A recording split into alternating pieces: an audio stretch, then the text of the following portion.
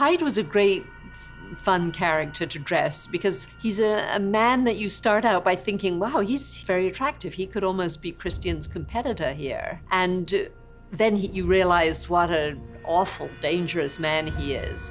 So we dressed him in a way that's very styled up, and you think, oh, kind of cool. But we gradually, with each change, we're adding things that are a little not quite great. Here you go, sir.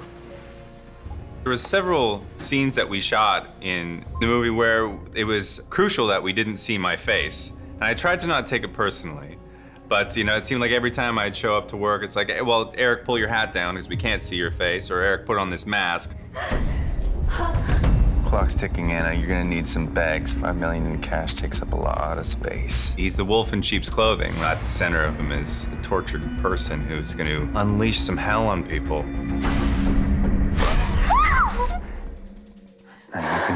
Good girl.